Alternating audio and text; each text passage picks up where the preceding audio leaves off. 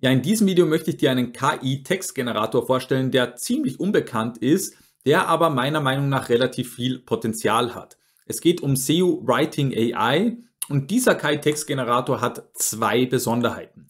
Erstens, du kannst ihn dauerhaft kostenlos nutzen und zweitens, das Tool ist darauf spezialisiert, äh, ja, Longform-Content zu produzieren, also Blogposts zu produzieren. Und meine Tests haben gezeigt, dass dieses Tool beim Longform-Content besser abschneidet als andere KI-Textgeneratoren. Ich werde mich gleich einloggen und dir das Tool im Detail zeigen. An der Stelle nur der Hinweis, dass ich dir unter dem Video auch meinen Beitrag zu den besten KI-Textgeneratoren verlinke. Dort äh, findest du eben einen Vergleich zwischen verschiedenen Tools, die es gibt und SEO Writing AI habe ich da eben auch hinzugefügt. Und genau dieses Tool möchte ich dir jetzt vorstellen. Der Link zu SEO Writing AI, äh, den findest du ebenfalls unter dem Video. Jetzt bin ich eingeloggt in SEO Writing AI. So sieht das Dashboard aus. Und ähm, ja, wenn man, wenn man hier jetzt, beziehungsweise wenn man hier aufs Dashboard geht, sieht man mal die verschiedenen Funktionen. Und das ist schon mal ein Unterschied zu anderen bekannten Tools, die man so kennt. Denn andere Tools bieten extrem viel verschiedene Templates. Und SEO Writing AI äh, macht das eben nicht. Also du siehst hier nicht irgendwie 30, 50, 60 verschiedene Templates für verschiedene Textarten, die man damit produzieren kann, sondern dieses Tool ist ähm, ja ein Spezialtool, würde ich sagen, beziehungsweise es ist spezialisiert für diese äh, Blogposts äh, beziehungsweise für Longform-Content. Du kannst mit diesem Tool innerhalb von wenigen Minuten durchaus einen Longform-Content-Blogpost generieren mit tausenden Wörtern, wirklich mit tausenden, mit 4000, mit 5000 Wörtern, inklusive Bilder, inklusive Tabellen, inklusive äh, ja auch einer gewissen SEO-Optimierung. Und das werden wir jetzt einfach, also es gibt noch ein paar andere Funktionen, aber ich würde sagen, wir starten da jetzt gleich mal los und ich demonstriere das gleich. Wir werden jetzt live einen Blogpost generieren. Es gibt aber auch einen Bulk-Artikel-Generator, äh, also mit dem du mehrere Blogposts sozusagen in Auftrag geben kannst. Und es gibt noch ein paar Spezialfunktionen, auf die möchte ich dann danach nochmal kurz eingehen. Jetzt klicken wir aber auf den One-Click-Blogpost äh, und wir geben jetzt mal ein paar Dinge ein. Ich möchte jetzt mal, also ich stelle die Sprache mal natürlich auf German und ich möchte, ich denke mir jetzt schnell ein Thema aus. Ich nehme jetzt einfach mal, keine Ahnung, schneller Muskelaufbau, sagen wir mal. Ähm, ich wäre jetzt ein Fitnessblogger, hätte einen Fitnessblog und möchte dazu äh, ja, möchte dazu einen Blogpost erstellen, könnte mir, also schneller Muskelaufbau wäre mein Main-Focus-Keyword, das ich targetieren möchte mit dem Blogpost. Und dann könnte ich jetzt, äh, wenn ich zu faul wäre, mir selbst einen Titel auszudenken, kann ich das auch schon von der KI machen lassen. Und äh, ja, schneller Muskelaufbau, Tipps und Tricks für schnelle Resultate. Ich nehme das jetzt einfach und äh, dann könnten wir hier mal die Einstellungen machen. Ähm, man sieht hier also x small, das wäre schon also das, die geringste Größe, die man auswählen könnte oder geringste, der geringste Umfang, die geringste Länge wären schon mal 600 bis 1200 Wörter und large wären 3600 bis 5200 Wörter mit 13 bis 16, ich mache das mal größer, ähm, Überschriften, also H2-Überschriften. Ich würde jetzt einfach mal ähm, ja, Small nehmen, das, das ist schon mal bis 2400 Wörter. Und Tone of Voice nehme ich jetzt einfach mal Casual, Point of View, First Person Singular, also ich zeige dir, wie man und so weiter. Also man blockt ja oft den First Person Singular. Target Country, ähm, da nehme ich jetzt auch nochmal German. Falls du dich jetzt fragst, warum ich bei der Sprache German auswähle und dann bei Target Country auch nochmal German, das ist einfach wegen der SEO-Funktionalität. Das heißt, äh, da kommen wir gleich dazu. Ähm, du kannst da nämlich auch äh, dir wirklich auch Live-Daten ziehen lassen, um den Content zu erstellen. AI-Images, da sage ich jetzt mal Yes. Äh, und Number of Images, sagen wir mal drei von mir aus, im 16 zu 9 Format. Und YouTube-Videos soll er auch inkludieren. Vielleicht soll er zwei YouTube-Videos in unseren Beitrag ähm, ja, äh, integrieren. Da kann man dann auch noch auswählen, ob er jetzt Videos und Bilder abwechseln soll oder ja erst die, die Bilder zeigen soll im Beitrag, dann Videos und so weiter oder First Videos, then Images.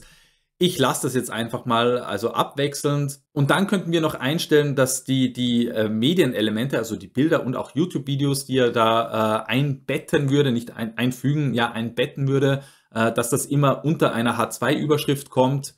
Äh, das könnten wir auch hier ein, äh, einstellen. Genau, dann hier SEO, NLP Keywords. Also NLP Keywords, das soll jetzt hier kein SEO-Tutorial werden, äh, aber das ist eben so, wie man es aus Tools zum Beispiel von Surfer SEO, Neuronweiter etc. kennt. NLP Keywords, ganz vereinfacht gesagt, sind einfach Wörter, Phrasen, Longtail Keywords, die ähm, bezogen auf unser Main Keyword, in dem Fall wäre es schneller Muskelaufbau, sehr oft äh, im konkurrierenden Content vorkommt, also in den Content, der in der Top 10 zu diesem Keyword rankt. Und diese NLP Keywords kann man sich jetzt, äh, also extrahiert von der Konkurrenz und kann man hier mal quasi einfügen lassen. Du könntest aber auch, wenn du jetzt zum Beispiel ein Tool wie NeuronWriter nutzt, äh, da komme ich danach noch dazu, ich zeige dieses Tool auch direkt im Video, dann könntest du dir äh, ja NLP-Keywords auch in NeuronWriter generieren lassen zu diesem Keyword und dann hier einfügen und dann hier den Content schreiben lassen und ihn dann anschließend in NeuronWriter verbessern. Genau das werden wir dann auch machen, zumindest das anschließende Verbessern. Äh, also das möchte ich auch nochmal im Video zeigen. Ansonsten hast du hier noch Einstellungen wie äh, Structure, äh, also Struktur, äh, also soll er eine Conclusion reinbringen, soll er Tabellen reinbringen, ja, soll er auch H3-Überschriften äh, hineinbringen, ja, Listen, soll er auch ähm, ja, kursiv schreiben, also Italics, Quotes, also Zitate, Key Takeaways, also das Wichtigste in Kürze, FAQ soll er einbauen und auch fettgeschriebene Wörter. Und dann könnten wir auch noch sagen, Connect to Web, können wir sagen ja, und dann könnten wir hier noch entweder Source-Links eingeben. Das heißt, dass er uns dann auch die Quelle, wo er die Informationen rauszieht, angibt. Und Real-Time Search Results ähm, könnten wir jetzt auswählen. Das heißt, er sucht selbst in google.de, weil wir haben ja Germany als Land angegeben. Oder man könnte auch URLs äh, Reference eingeben. Das heißt, du kannst dann, könntest selber drei URLs zum Beispiel auswählen und diese hier einfügen und er würde den Content basierend auf den Informationen aus diesen URLs sozusagen erstellen. Das Ganze läuft natürlich mit der GPT-Technologie von OpenAI. Das ist ja die Grundtechnologie, die, ähm, die immer in diesen KI-Text-Tools genutzt werden. Da, darauf gehe ich dann aber noch ein, also bezüglich GPT-4, GPT 3.5 und so weiter. Wir lassen es jetzt mal auf Real-Time Search Results und äh, Publish to WordPress, also du könntest es auch direkt äh, sozusagen äh, in WordPress veröffentlichen, wenn du das äh, connected hättest. Das habe ich aber nicht gemacht in meinem Fall. Und dann könnten wir hier auswählen, zum Beispiel GPT 3.5 äh, und GPT 4, GPT 4 8K oder GPT 4 128K. Das ist jetzt aber noch im Beta-Test und das wäre nur über die eigene API verfügbar. Ich nehme jetzt mal GPT 4 8K und man könnte hier noch seinen eigenen OpenAI-Key einfügen. Das heißt, wenn du jetzt die kostenlose Version nutzt, aber da gehe ich dann beim, beim Pricing drauf ein, äh, könntest du es kostenlos nutzen und, und, da hast du auch kostenlose Credits und wenn die Credits verbraucht sind, könntest du über deinen eigenen OpenAI API-Key das Tool trotzdem weiter nutzen, auch wenn du im kostenlosen Plan deine Credits verbraucht hast. Ich nutze übrigens nicht den kostenlosen Plan, ich nutze den bezahlten Plan, denn dieses Connect to Web ist ein Feature, das nur im bezahlten Plan drinnen ist. Für mich ist es aber ein relativ äh, ja, äh, sinnvolles Feature oder ein, ein, ja, ein wichtiges Feature. Aber darauf, wie gesagt, da, da kommen wir dann im Pricing noch dazu. Ich würde sagen, wir haben jetzt mal so alles eingegeben. Jetzt scrolle ich nach oben. Das ist von der UI. Da sollten die da unten den Button haben. Da muss man nochmal nach oben scrollen. Das ist so einer der wenigen Kritikpunkte, die ich habe. Und ich kann zu diesem Tool wirklich nicht viel kritisieren. Ich klicke jetzt einfach auf Run. Das dauert jetzt ein bisschen und während er diesen Content erstellt, ähm, bringe ich jetzt noch ein zweites Tool hier ins Spiel. Und zwar das Tool Neuron Writer. Hier bin ich gerade auf dem einen Testbericht von Neuron Writer inklusive Testvideo. Dieses Tool verlinke ich dir auch unter dem Video. Und zwar kannst du mit diesem Tool ähm, eben eine Optimierung des Contents dann durchführen, weil du solltest ja nicht einen KI-Content produzieren, den einfach so veröffentlichen. Äh, mache ich sowieso nicht. Ich schreibe da viel um, ich lösche einiges, ich ergänze einiges, ich mache den Content unique und vor allem, ich verbessere ihn dann mit Neuron weiter. Ich logge mich jetzt auch gleich parallel in Neuron weiter ein, dann können wir den Content von SEO Writing AI, den schauen wir uns jetzt gleich an, wenn er fertig ist und dann können wir ihn in Neuron weiter noch optimieren. Wie gesagt, Neuronwriter ist ein Content SEO Tool, ähnlich wie Surfer SEO, aber Surfer SEO ähm, ist zum Beispiel, kostet zum Beispiel 50 oder 100 Euro pro Monat und Neuronwriter hat einen Lifetime Deal, der ist aber sehr versteckt. Den findet man auch nicht auf der normalen Webseite. Also wenn du hier auf Lifetime Deal kaufen gehst, in meinem Testbericht, meinen neuen weiter Testbericht verlinke ich dir unter dem Video, falls dich das interessiert. Ich weiß aber, dass viele, viele ähm, Zuseher von meinem YouTube-Kanal neu und weiter schon längst gekauft haben, weil es wirklich eines der besten Tools ist, die man eben, ja, vor allem mit Lifetime kaufen kann. Ich weiß nicht, wie lange es den Lifetime Deal gibt.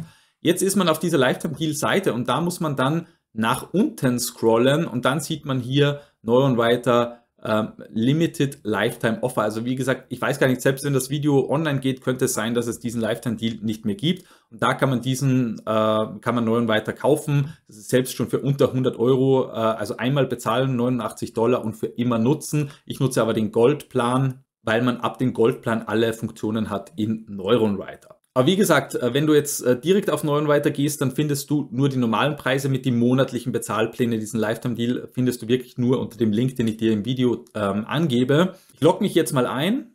Da gebe ich jetzt mal das Keyword ein, schneller Muskelaufbau und äh, ja, Germany als Country und Language German ausgewählt. So, Neuenwriter ist fertig. Er hat mir jetzt zu diesem Keyword die Konkurrenz rausgesucht und auch den Content der Konkurrenz analysiert. Ich gehe jetzt zum nächsten Schritt und hier sieht man, dass Neuenweiter extrem viele NLP-Keywords eben extrahiert hat, eben hier die Basic Terms, die Extended Terms und auch noch die Terms äh, in den Headings, also H1 und H2, H3 Terms. Äh, genau. Und jetzt gehen wir, äh, da, wenn wir da jetzt, dann werden wir jetzt gleich mal den Artikel einfügen von SEO Writing AI und dann kann man ihn mit Neuenweiter weiter verbessern. Und so wäre das dann ein Workflow, wie man eben auch optimierten Content erstellen kann. Wichtig, wie gesagt, äh, dein Content muss nicht nur optimiert sein in dem Sinn, dass du gute Scores hier bekommst, dass er irgendwie lange ist und so weiter, sondern er muss die Suchintention treffen, er muss einen Mehrwert bieten und vor allem er muss einmalig sein. Also es ist jetzt nicht so, nicht, dass du mich hier falsch verstehst. Äh, ich produziere meinen Blog-Content nicht so, dass ich mir das von der KI schreiben lasse und dann kurz verbessere und dann gleich veröffentliche. Ich arbeite schon auch wirklich lange teilweise an meinem Blog-Content, aber dank der KI-Tools trotzdem deutlich weniger lang, als ich es noch ja ähm, vor eineinhalb Jahren äh, benötigt habe, um meinen Content zu erstellen, weil mir die KI-Tools hier einfach helfen. Gut, der Switch zurück zu SEO Writing AI. Ähm, SEO Writing AI ist fertig, 1765 Wörter. Er hat mir auch gleich Meta-Description äh, und Meta-Titel erstellt. Und er hat mir eben auch hier KI-Bilder eingefügt. Die könnte ich auch neu generieren lassen, wenn ich das möchte. Und äh, ja, schauen wir mal drüber. Ein, ähm, lesen wir mal kurz rein, nur die ersten Zeilen. Ein schneller Muskelaufbau ist etwas, nach dem viele Athleten und Fitnessliebhaber streben.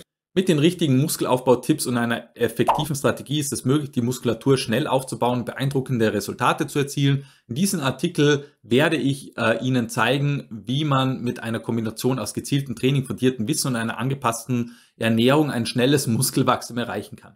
Dann sind hier schon mal die Key Takeaways. Ähm, äh, ja, die Basis für schnellen Muskelaufbau besteht aus diszipliniertem Training und einer bedachten Ernährung. Klar, Training und Ernährung. Erste sichtbare Ergebnisse können nach etwa sechs Wochen erwartet werden.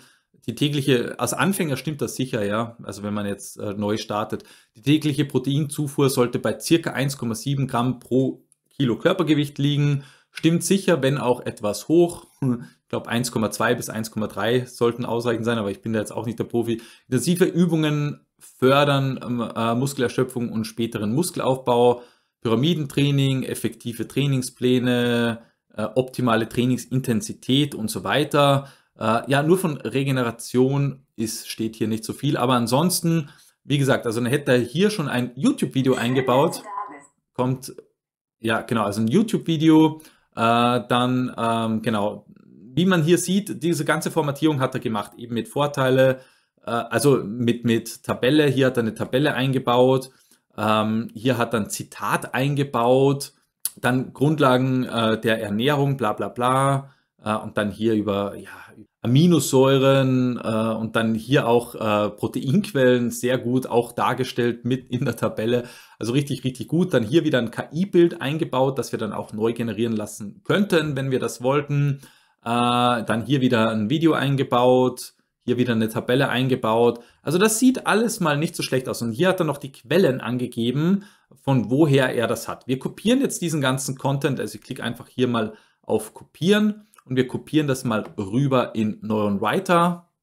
Genau, ich kopiere das dann rein und ich muss noch ein paar andere Sachen reinkopieren, zum Beispiel den H1-Titel, den machen wir hier und als H1 und dann natürlich auch noch Titel und Meta-Description. Das hat ja ähm, SEO Writing AI für uns auch gemacht. Also ich kopiere jetzt den Titel und dann gehe ich zurück, kopiere mir die Meta-Description. Die ist natürlich auch von der Länge her und alles optimal.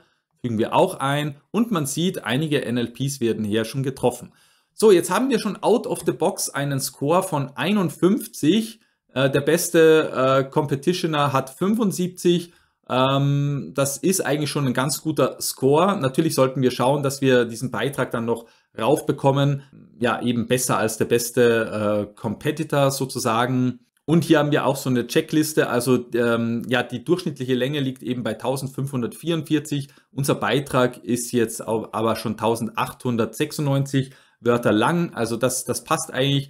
Ähm, und wir haben hier halt, also man kann dann eben neu und weiter nutzen. Man sieht hier eben, welche Wörter eben tendenziell äh, zu oft vorkommen. Das sind die, die äh, rot sind. Man kann sich die dann anzeigen lassen, schauen, ob man den Content auch umschreibt. Welche Wörter noch gar nicht vorkommen, das sind die, die eben grau hinterlegt sind. Da könnte man probieren, dass man den Text noch eben verbessert und auch diese Wörter reinbringt. Äh, ja, und grün ist okay, gelb kannst du auch lassen, da musst du jetzt nichts machen. Also du kannst dich ein bisschen kümmern um diese um diese Wörter, die eben rot sind oder grau wären. Äh, aber wie gesagt, äh, nicht falsch verstehen, ich möchte das an der Stelle nochmal sagen. Es geht nicht darum, nur einfach einen guten Score zu machen, sondern es geht darum, dass du einen guten Inhalt insgesamt produzierst. Das heißt, der, der die, die Leser abholt, der die Suchintention trifft, der die Fragen beantwortet, die die Leser haben. Also kurz gesagt, dass wirklich die Suchintention hinter dem Keyword getroffen wird. Ich habe das, das ist jetzt nur fürs Video, ich habe mir das jetzt nicht im Detail durchgeschaut und so weiter, aber es sieht schon äh, gut aus. Was mir jetzt aufgefallen ist vorher, das habe ich schon vorher äh, weggelöscht, von diesen Bildern, die ich jetzt darüber kopiert habe, da übernimmt er diese, diesen Prompt von den Bildern, den hat er da eingefügt. Das löschen wir, das ist natürlich Blödsinn. Genau, hier hätte er noch ein FAQ. Und äh, neu und weiter hätte sogar so eine, eine Funktion, die heißt Auto Insert. Wenn man da draufklickt, dann würde er schauen, welche Wörter eben noch nicht verwendet sind und würde dann Textbausteine für uns äh, erstellen mit diesen, mit diesen Terms und wir könnten diese dann auch noch in den Content einbauen. Äh, das dauert auch eine Zeit. Wie gesagt, das soll hier jetzt aber kein Neu und Weiter Review sein, sondern ein äh, SEO Writing AI Review. Deswegen möchte ich jetzt dann auch gleich mal wieder zum Tool zurückwechseln. Ich dachte aber, dass es vielleicht für den einen oder anderen wirklich sinnvoll ist, wenn ich da wirklich so einen Workflow zeige, dass du wirklich den Content erst in SEO Writing AI produzierst. Dann gehst du weiter zu Neu und Weiter und kannst ihn dann noch weiter optimieren äh, und natürlich auch wichtig, dass du wirklich auch deine eigenen Dinge einbringst, ganz abseits von der ganzen KI, äh, äh, ja, von dem ganzen KI-Content und so weiter, wobei sich der auch wirklich gut lesen lässt. Aber hier jetzt mit neuen weiter mit dem Auto-Insert, da würde er hier Textbausteine, dann könnte man dann, wenn man da draufklickt, dann zeigt er uns, welchen Textbaustein wir umschreiben. Äh, ja, und dann könnte man hier einfach draufklicken und könnte dann sagen, ja, übernimm das bitte, also accept, und dann würde er mir das umschreiben dann könnte man das eben so weiter verbessern. Gut, wir gehen jetzt aber zurück zu ähm, SEO Writing AI, aber wie du siehst, der Output, der ist schon wirklich gut. Also auch mit dieser ganzen Formatierung, auch damit, dass er sich wirklich aus diesen, äh, ja, dass er sich da Live-Daten rauszieht und auch NLP-Keywords einfügt. Und du hast auch gesehen, dass auch der, der Score in neuen weiter schon ziemlich gut war. Also der war schon über 50. Wie viel hatten wir? 51, ja, also über 50 äh, ohne dass wir selbst irgendwas gemacht haben.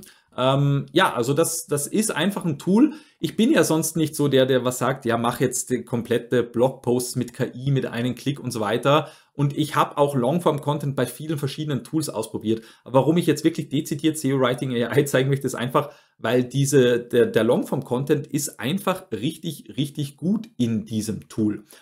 Ähm, ja, und jetzt gehen wir noch mal kurz aufs Dashboard zurück. Äh, die anderen Funktionen, also es gibt auch, es ist auch ein guter Writer für alle, die jetzt Affiliate Marketing über das Amazon äh, Affiliate Programm machen, weil du kannst dir halt auch hier so Produktlisten erstellen, könntest dann deinen, äh, deinen äh, Amazon ähm, nicht Affiliate-Link, wie heißt das, die Affiliate-ID einfügen und dann kann er dir automatisiert die Amazon-Links reinfügen. Du kannst dir da auch noch äh, ja so Produktlisten und so weiter erstellen, also mit, mit äh, ja, Image, Featured Image und so weiter. Also du kannst dir da ähm, ja so komplette Tabellen mit Produktvergleichen etc. erstellen. Also alles Das ist möglich. Ich müsste hier nur die Links der Produkte sozusagen einfügen und hier meine Affiliate-ID einfügen und dann würde er mir so, äh, kannst du dir Tabellen und, und, äh, und so weiter auch erstellen lassen. Als ich das das äh, letzte Mal probiert habe, das ist aber schon einige Wochen her, da ging diese Funktion äh, nur auf Englisch. Ich kann es jetzt in dem Video aber mal schnell ausprobieren. Ich gehe jetzt mal auf, auf Amazon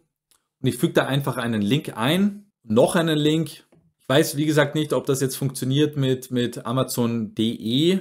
Und wir sagen, okay, das Bild soll er sich raus. Ah ja, hier, das hat er gefunden. Hier bei dem sucht er noch. Gut, das hat er jetzt auch gefunden, das erste. Jetzt habe ich noch ein drittes eingefügt.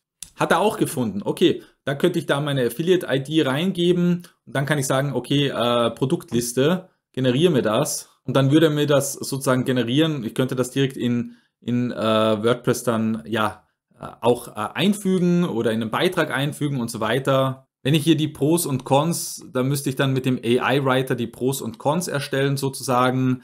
Äh, aber genau das ist eben das Problem. Da hat er noch diesen Mix aus Englisch und Deutsch. Ähm, das soll aber kommen in Zukunft, dass das auch in Deutsch perfekt funktioniert. Also hier jetzt nochmal im Live-Test gleiche Erfahrung, die ich auch vor ein paar Wochen hatte, als ich das Tool zum ersten Mal ausprobiert habe. Das funktioniert in Deutsch noch nicht so wirklich gut.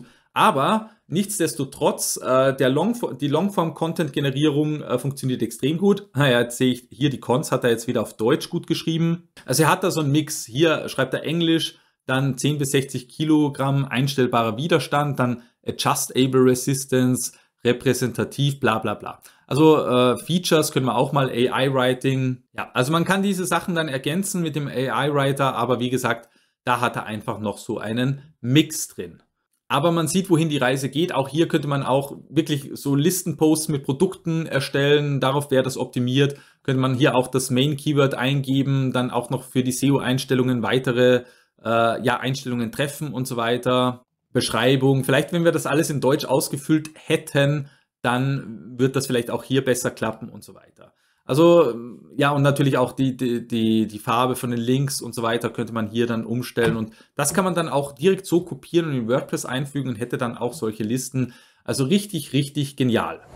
Jetzt möchte ich zum Abschluss auf das Pricing zurückgehen und man sieht, dauerhaft kannst du dieses Tool kostenlos nutzen, also keine Testversion, sondern wirklich dauerhaft kostenlos nutzen kannst damit fünf Longform-Artikel pro Monat generieren mit maximal 5000 Wörtern. Wenn man sieht, wie lange diese Longform-Artikel sind, äh, werden sich dann gar keine fünf Artikel ähm, sozusagen ausgehen, sondern eher weniger. Und du kannst halt den Modus wählen, wo du halt äh, GPT 3.5 und GPT 4 im Mix bekommst mit insgesamt 5000 Wörtern. Aber, und das ist jetzt der, der große Punkt, Du kannst eben deinen eigenen OpenAI Key hinterlegen. Hier steht noch Open Key, aber ich meine den OpenAI Key kannst du hinterlegen und dann kannst du äh, auch oberhalb von diesem Limit äh, da eben, also von diesem Wortlimit pro Monat generieren. Ich weiß nicht, ob dann auch noch diese fünf äh, Artikel äh, Grenze gilt. Wahrscheinlich schon. Ich denke, sie können einfach nicht alles immer nur äh, kostenlos rausgeben, aber zumindest kannst du mit deinem eigenen Key dann fünf sehr lange Artikel schreiben, auch mit insgesamt zum Beispiel weit über 10.000 Wörtern. Ein OpenAI ähm, Key, das verlinke ich dir auch unter dem Video, wo du dir den erstellen kannst. Da, den, den musst du zwar auch bezahlen, dass du diese Tokens bekommst von OpenAI, ist aber extrem billig. Also da kannst du einmal mit einer Kreditkarte 5 Euro überweisen und hast dann irgendwie schon äh, ja 100.000 Wörter oder so. Also ähm, ja, genau. Also den kannst du da einfügen. Und ansonsten, ich nutze diesen Pro-Plan, der auch sehr günstig ist. Das sind 12 Dollar, das sind eben 10 Euro pro Monat. Hab da dann eben äh, 100.000 Wörter pro Monat in, äh, äh integriert, kann 50 Artikel generieren und äh, kann da eben auch äh, dieses Connect to Web, dass er sich wirklich die Daten rauszieht. Das war für mich eben der entscheidende Punkt.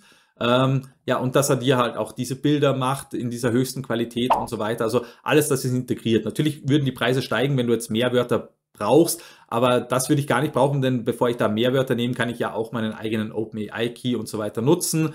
Äh, ich habe halt hier die Grenze mit diesen 50 Beiträgen, die ich da pro Monat generieren könnte. Aber wirklich kann ich nur empfehlen, also für 10 Euro umgerechnet pro Monat ist das wirklich ein Top-Tool. Und vor allem für Longform-Content ist es das beste Tool, das ich bis jetzt getestet habe. Wenn du es dann eben, wie ich es gezeigt habe, noch kombinierst mit neuen weiter, der versteckte Lifetime-Deal zu neuen weiter ist auch verlinkt unter dem Video, dann äh, ja, kann man hier einiges rausholen. Das soll es jetzt aber gewesen sein. Das Video ist jetzt eh schon länger gegangen, als ich es geplant habe. Wenn ich dir weiterhelfen konnte, wenn dir das Video gefallen hat, dann würde ich mich wie immer über einen Daumen nach oben freuen. Vielen Dank dafür und ich hoffe sehr, wir sehen uns beim nächsten Video. Ciao!